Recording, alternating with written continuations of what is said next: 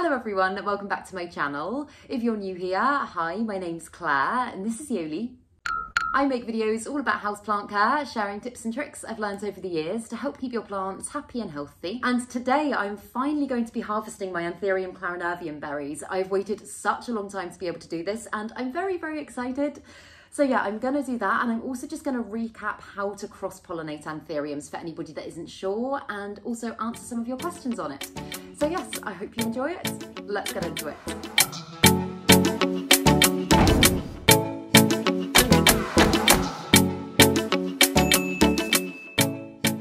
So I know I have gone through how to pollinate before and I don't currently have two anthuriums with inflorescences at the moment to demonstrate it. So I will pop that clip in in case you missed it. And I know I've been saying for absolutely ages that I would talk about how you get the seeds for anthuriums to grow them from seed. So I thought I would quickly go through that. I've got two of my clarinerviums here.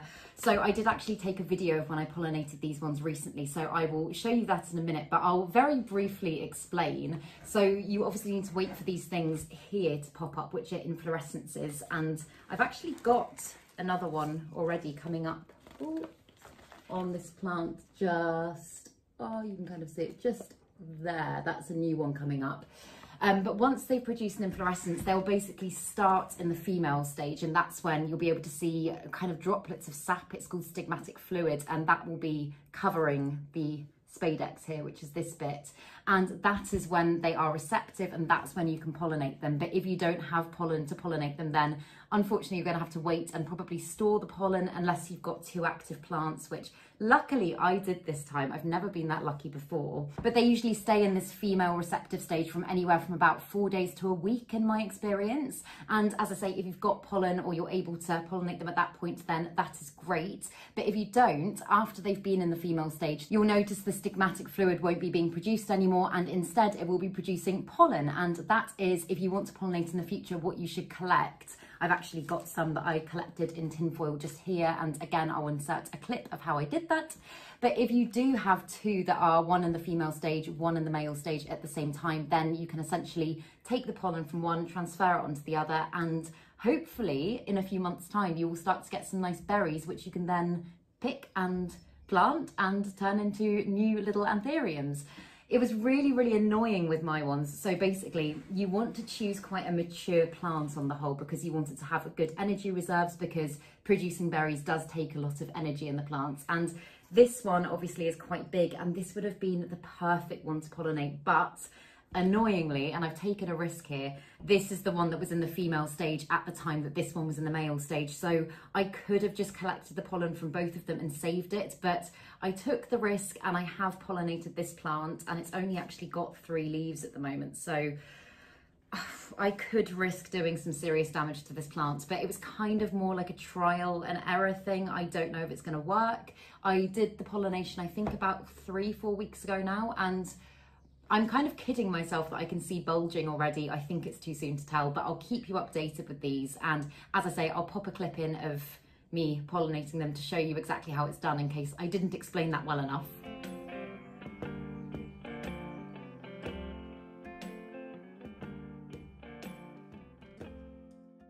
One thing that I forgot to mention in that clip is that if you do decide to store your pollen in the freezer, oh, hello Joli. if you do decide to store it in the freezer, it's a really good idea to get some of these silicon gel things to pop in with them just because any moisture that gets in there can destroy the pollen and mean that it's not usable.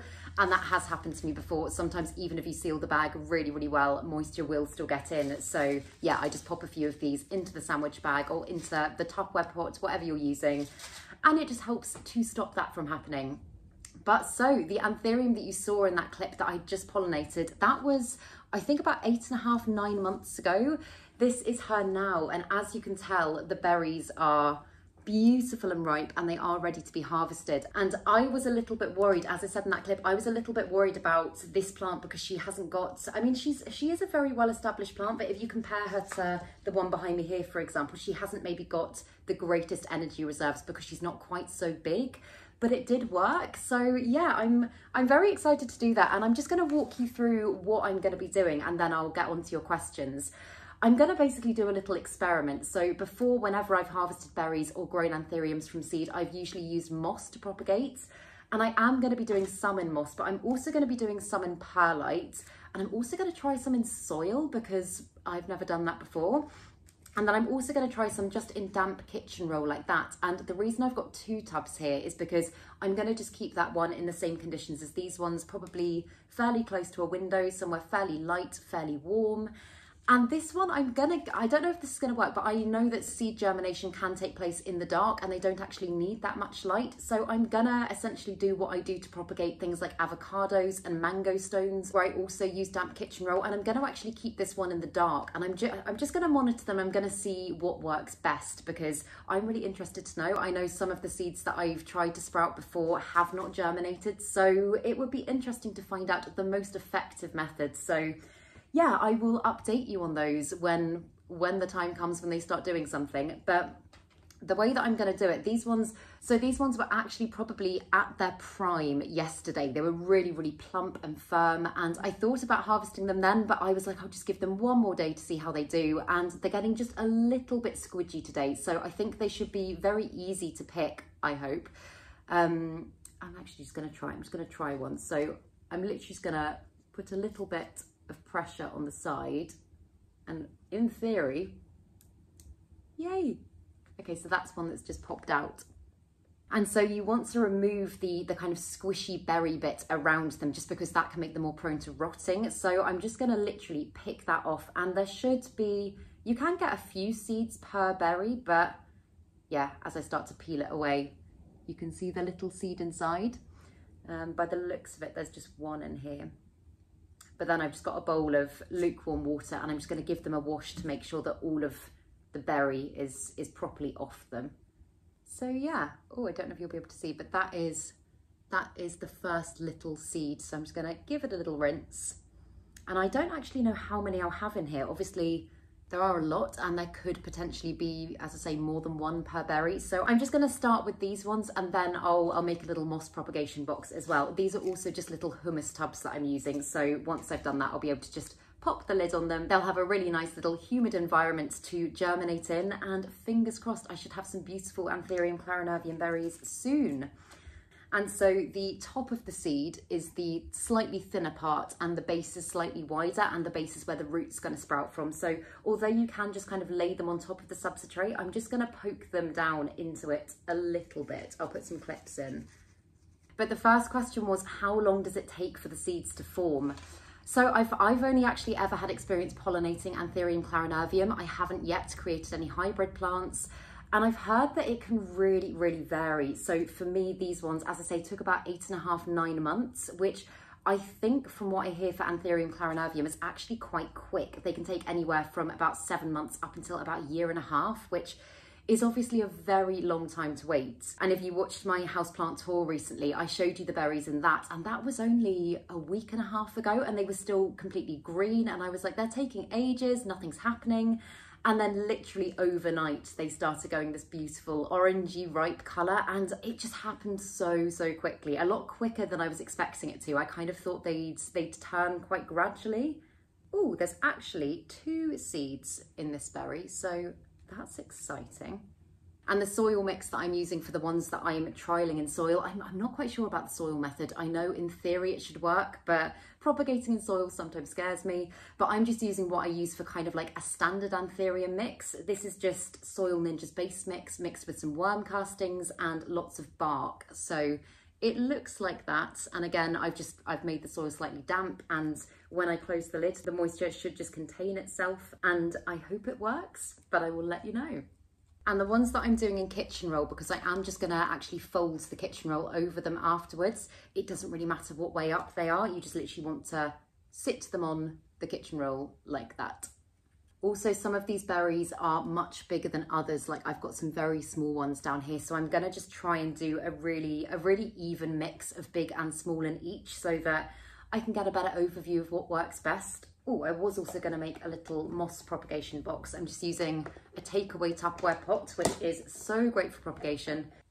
And yeah, I'm just going to line the bottom with moss, keep that hydrated, just give it a little spritz before I close the lid. But again, once the lid's closed, assuming it is completely airtight, it's going to stay, it's going to stay fairly moist. So yeah, that is what that one's looking like. And this is how, as I say, this is how I've done it in the past and I have had success doing it this way.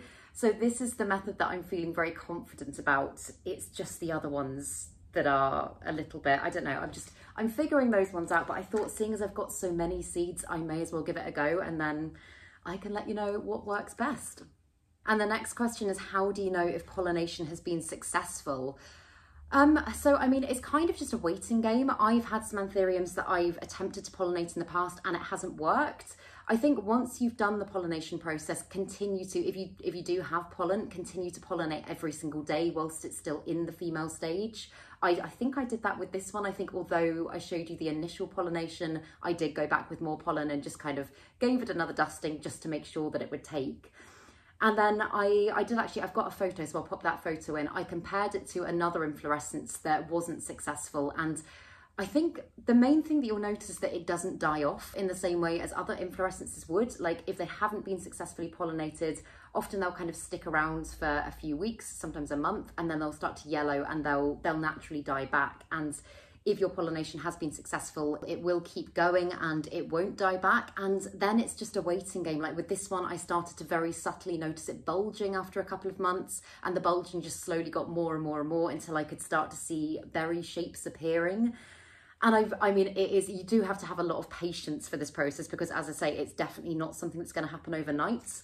But the other thing that I noticed with this one, and again, if I've got pictures of anything that I'm talking about, because I did take quite a lot of pictures of this process, I'll, I'll pop them on the screen. But I also noticed the base of it started to become a lot greener. And you know, sometimes if if they are dying off, they'll kind of, they'll start to, as I say, go a bit yellow and kind of shrivel up a bit. This one just got plumper and plumper and looked more and more alive. So yeah, that's that's kind of how you tell whether or not it's worked. But if you're in any doubt at all and you have tried to pollinate and the inflorescence hasn't died back, just leave it there because it might just be really slow to get going and you could chop it back and then you could find that actually it has worked and you're just disrupting that and ruining your chances of getting some lovely berries. So yeah.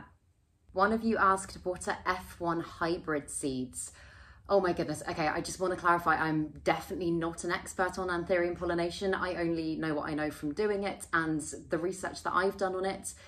My understanding of F1 hybrid seeds, there is a Latin term for this and I'll put it on the screen because I can't remember what it's called, but it essentially translates, I think, to first child. And they're basically the seeds produced where you take two different parent plants, like two different types of anthuriums, and you cross pollinate them, and therefore the baby won't have identical genes to either parent. I'm pretty certain that's what it is. And also, I know with cross pollinated anthuriums, where it's not like, for example, like pure clarinervium, like I've got here, those seeds do tend to be a lot more, they produce plants that are a lot more resilient, a lot less prone to health issues which is kind of like, okay, no, I won't give that example on my channel.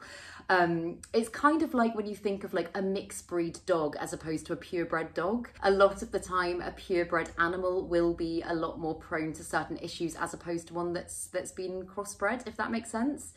Um, and I know, where is it? There was also a question on uh, can all anthuriums be hybridized slash cross-pollinated? Is there an easy way to figure it out?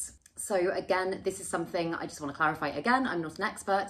This is something that I have done a lot of research on, but there's not a huge amount of data.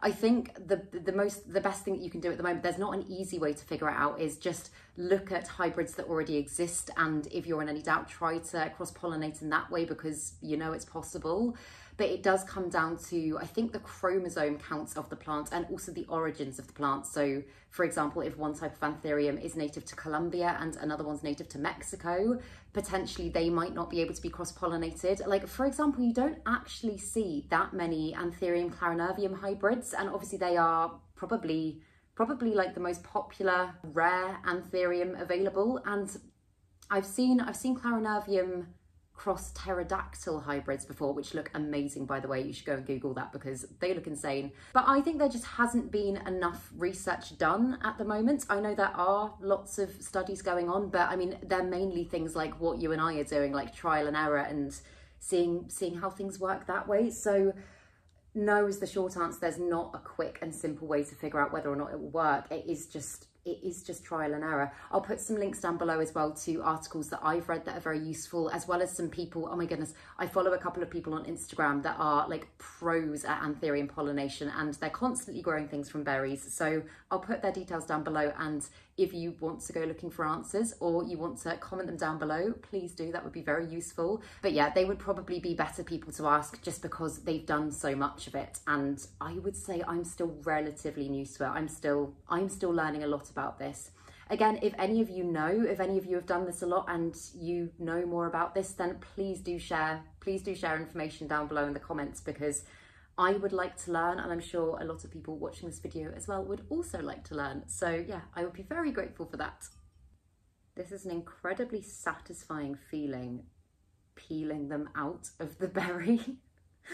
it just makes me so proud as well to think that this plant has been able to do this. It, I mean, nature is just, oh, wow, that one came out very easily. Nature is just magic, isn't it? It's absolutely amazing. And it's crazy as well to think that if I hadn't pollinated, then this wouldn't have happened. Oh, which actually makes me think of another question that I saw. Um, can cross-pollination happen naturally? So yeah, I mean, obviously in the wild, it does happen naturally. I think usually, I mean, bugs, beetles, ants, stuff like that will go from one plant to the other and they'll carry pollen with them and they will help to cross-pollinate plants. In a home environment, I think on the whole, it's very unlikely that cross-pollination will happen naturally unless you do have one anthurium that sprouts two inflorescences that are very close to each other and they just happen to rub up against each other at the right time.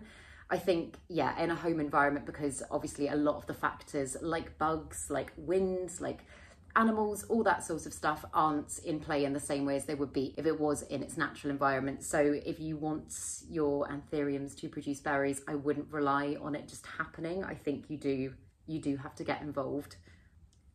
I have got the tiniest little seed here. I don't know if that one will do anything. I might pop that one into the moss actually. But yeah, there's a very high chance that some of these seeds might not take. As I say, I have done it before and I've had some that have been successful and others that just haven't done anything.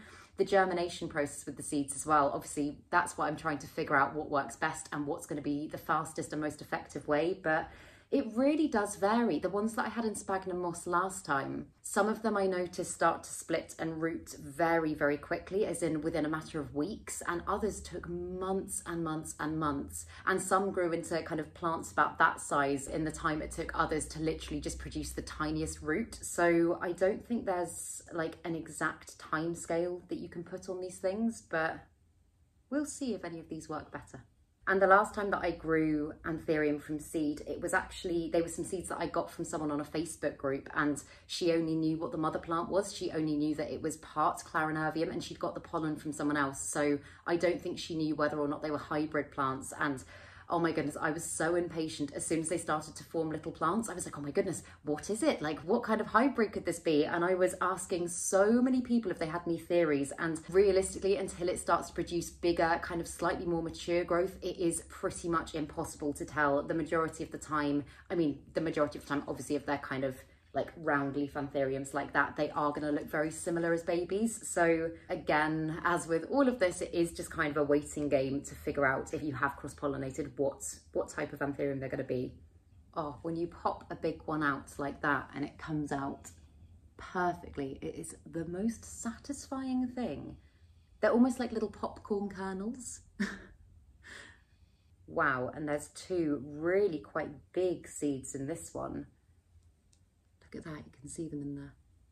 One of you asked what the difference is between a male and female flower. So I kind of answered this in the clip that I put in before, but when an inflorescence is produced, and it would be so much easier if it was to work the other way around, but it will start in the female stage and that's when it's receptive and that's when you can pollinate. And obviously if you don't have the pollen to be able to pollinate at that point, then there's not a lot you can do. You just kind of have to let it go to the male stage and then you'll be able to collect the pollen. But yeah, essentially inflorescences are androgynous. They switch from female to male and it's not ever going to be just one or the other. Like you're not going to suddenly just get a female one or suddenly get a male one. They do go through both stages. And the good thing as well with anthurium pollen is that if you, oh, that's a weird seed.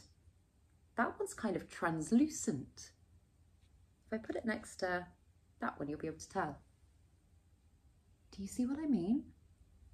Ooh, yeah, in fact, that one just literally popped to my fingers. I'm not gonna I'm not going to attempt to do that one. But what I was going to say is the good thing with anthurium pollen is that it does store quite well if you do it right. Like, for example, philodendron pollen can only store for about a week max, even if you do everything everything the same. But with anthurium pollen, I've managed to keep it for months and months and months. So if, for example, you only have one anthurium plant and it gives you an inflorescence and you think, oh, I, I can't do it this time, I want to keep the pollen. If you preserve it in the right way, then you are still going to be able to use it months down the line. And yeah, as I say, there's no no rule about pollinating, no rule.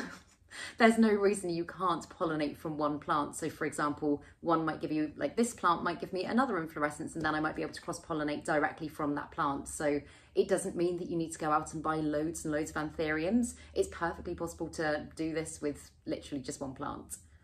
With some of these tiny, tiny seeds, I'm actually gonna just put them to one side and I might create a different propagation box for them just because I think they're slightly less likely, it doesn't mean it's impossible, but they're slightly less likely to root and produce plants. So that means that they could run the risk of rotting more. So I'd quite like to keep the potential of that away from the other plants because obviously rot can spread very easily. So I'm thinking I might just do another moss propagation box similar to this one and then pop them in there.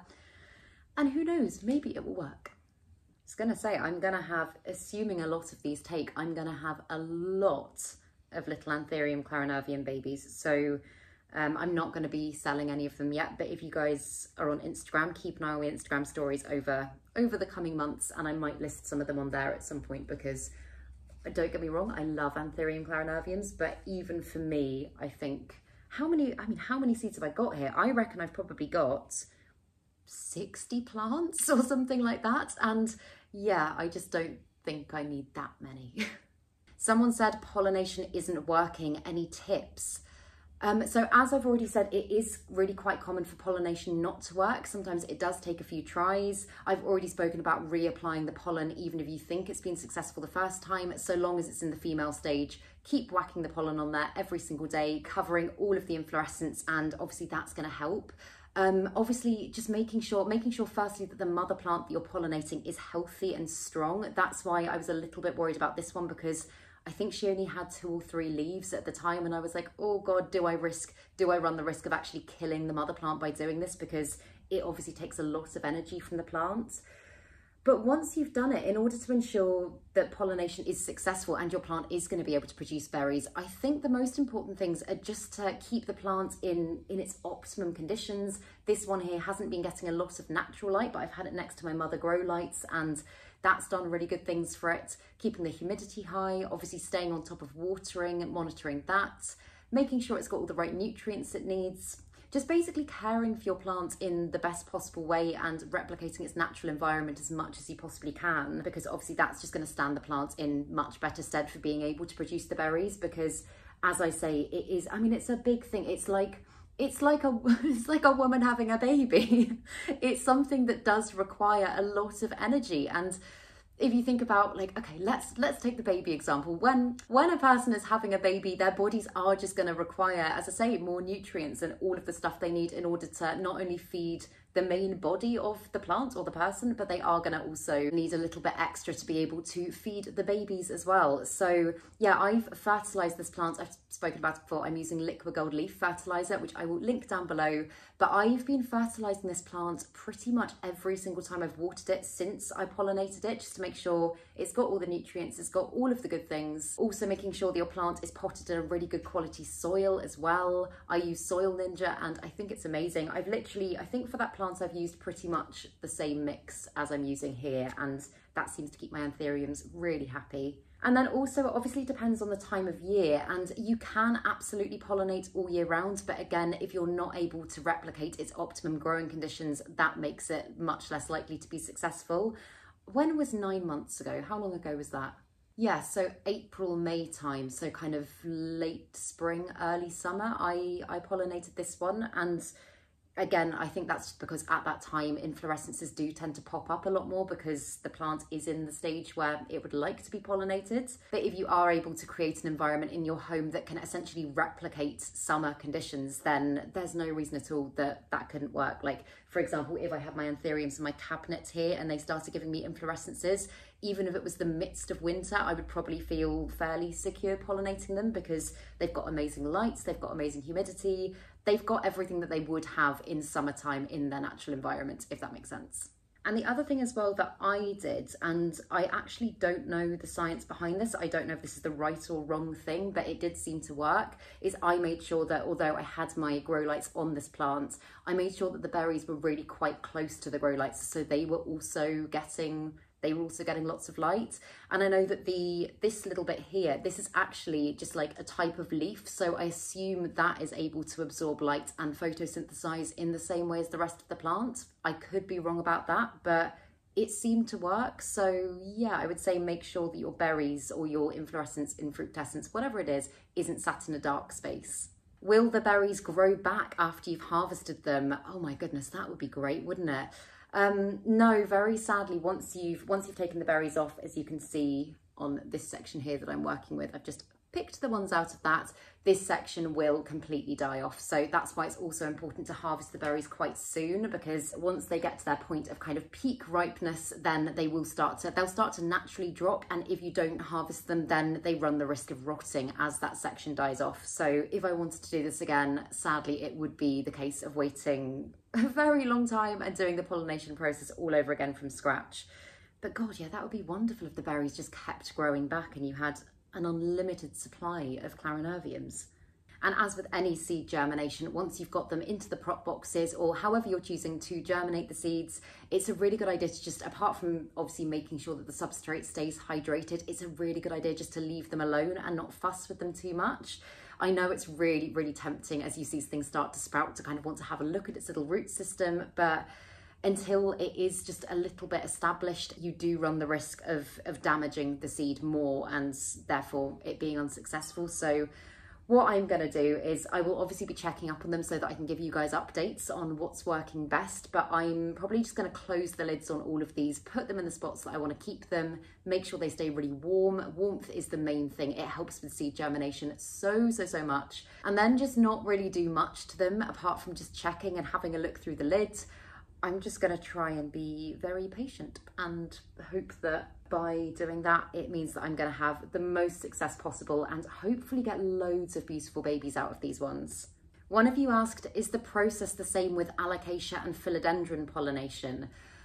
Um, so in theory, yes, it is. I have never successfully pollinated either. So with alocasia, the only time I've tried to pollinate alocasia was with my black velvet, my alocasia black velvet. And I didn't, I mean, I didn't really know what I was doing. And essentially, because it wasn't a very mature plant, it took up so much of that plant's energy that the actual mother plant ended up dying off and I lost the plant. So, again, that's why I was a little bit wary about pollinating this plant that wasn't that mature. And with philodendron pollination, this is something that I am really excited to explore more this year. I've got several philodendrons in flower at the moment, and it's a little bit, I mean, is it trickier? So with with philodendron pollination, what basically happens is you'll start to see the flower being produced. If you are on my Instagram, you'll see that my philodendron code 69686 opened its flower the other day and oh my goodness, it's beautiful. But the window in which you can pollinate is very, very small because the flowers only actually open for, I think, about 12 hours, sometimes a little bit longer, but they open and they'll close back up. And once they've closed back up, then they will go into the male stage and then you can collect the pollen, but it doesn't store very well in the same way as anthurium pollen. I think you can only really store it for about a week. So if you don't have another philodendron in flower in that time that you can pollinate, then you kind of just have to, it's kind of just more of a luck thing in terms of timing it right. So I think that's kind of why I haven't given it a go so far. I'm also just so wary about, again, the energy that it takes and the fact that most of my philodendrons that are flowering are ones like my white princess, my pink princess, and they're plants that I just am like, I'm not willing to take the risk for, for the sake of some berries. So I haven't done that as of yet. Potentially, as I say, I might try it come summertime, but at the moment I have actually just been chopping the flowers back because, because yeah, it's a risk that I'm not willing to take. But I do, I do find philodendron pollination absolutely fascinating because as I say, it's got a very short window in which the flower actually opens and during that time, the base of it will get really, really warm. And I think I've spoken about this in a video already, but I'm gonna say it again because I just find it so interesting. Um, so the reason that that happens is because in its natural habitat, what that does is it signals to bugs and beetles that can see detect inflorescence that that is that is the flower they need to go to, and so they'll go there. Quite often, the flower will close again around them. I think sometimes they mate in there as well, and that can be a form of pollinating. But as the flower opens again, they'll fly off carrying the pollen, and the cycle continues. They'll go on to the next flower, and that is how pollination naturally happens. Again, I mean, in terms of like self-pollination in a home environment with philodendron, from what I know about it, it would be pretty much impossible, pretty much impossible. So again, kind of manual hand pollination is needed there. But I know a lot of people that have had success with it and it's definitely something that I would love to do. It's just the risk element that just frightens me a little bit because I love the mother plants more than anything in the world, and the thought of potentially doing something that might, I don't know, that might kill them just makes me go, is it worth it? Or should I just appreciate what the plant's doing and not kind of tamper with it too much? So yeah, one day, but not, not just yet. I was also going to say it might be an idea, especially if you've got sensitive skin, to wear gloves whilst doing this because I, I have noticed whilst I've been doing this and kind of picking the berries off, I've got quite itchy and I just touched my face and now my face is itching. So I didn't think of that and I've never dealt with this many berries in one go before. I was going to say I've never had an issue usually, but I would probably recommend wearing gloves. In fact, I might actually go and just like wash my hands and stuff. But those are actually all of the questions that you guys asked. If you've got any other any other questions at all, then drop them down below and I will do my best to help. And again, as I say, if you know anything more about philodendron, uh, philodendron, anthurium pollination and would like to share that, I would honestly be so grateful. So do let me know down below. But yeah, I will keep you updated on these ones and I will let you know how it goes. If you do come back to my channel looking for updates, I'll probably do updates in either my kind of general plant updates videos or in repot and chats until until the results are kind of finalized. So I will I'll link them down below whenever I do an update so that you can come back and see what's worked and what hasn't. But yeah, I really hope you enjoyed this video and I really hope that you found it useful. As I say, any questions, drop them below. But if you did enjoy this video, please remember to give it a thumbs up, subscribe to my channel, have a lovely day, and I will see you in the next video.